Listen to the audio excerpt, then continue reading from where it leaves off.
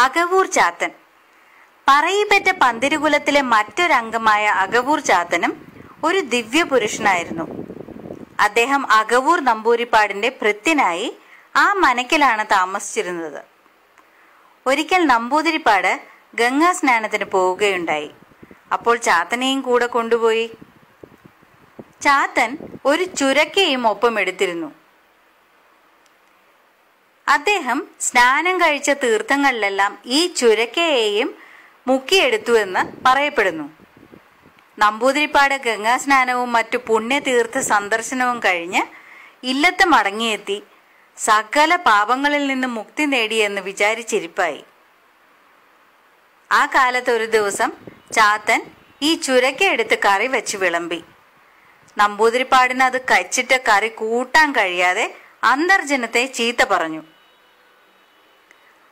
അന്തർജനം അത് കഷ്ണത്തിന്റെ കയ്പാണ് നുറുക്കിയത് ചാത്തനാണ് എന്ന് പറഞ്ഞു.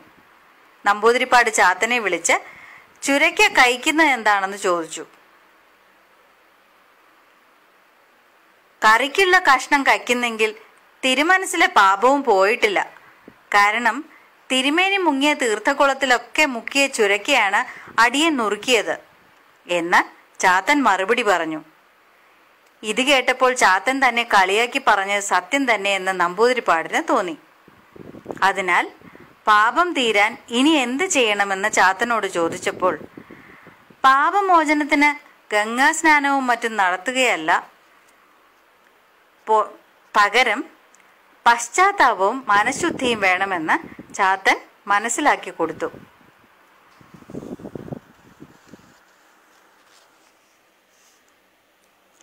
അതുപോലെ ഒരിക്കൽ ചാത്തൻ നമ്പൂതിരിപ്പാടിനോട് ഏഴര വെളുപ്പം കാലത്ത് കുളിച്ച് ഉച്ചയാകുന്നതുവരെ തേവാരം കഴിക്കുന്നതിന്റെ അർത്ഥം എന്താണ് എന്ന് ചോദിച്ചു.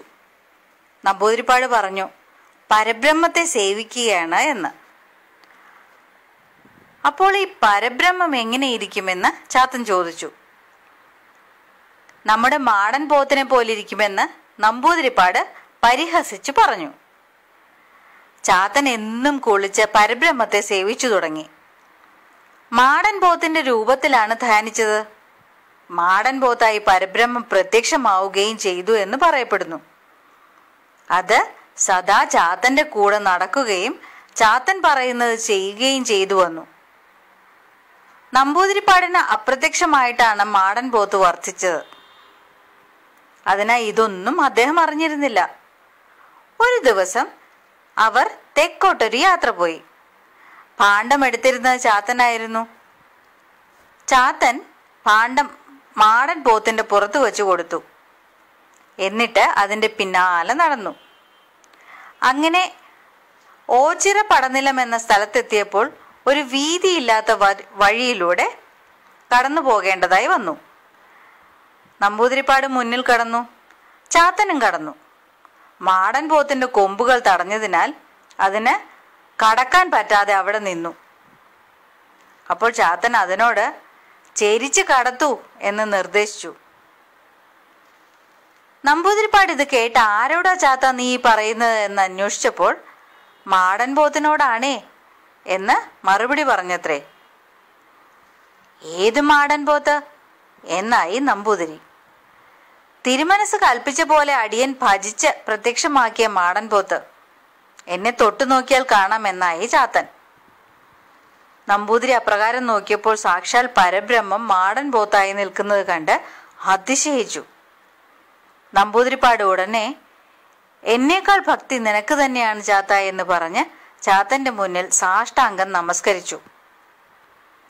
അപ്പോൾ പരബ്രഹ്മമായിരുന്ന മാടൻ പോത്ത് നിന്ന സ്ഥലത്ത് തന്നെ ഭൂമിക്കടിയിലേക്ക് മറഞ്ഞുപോയി.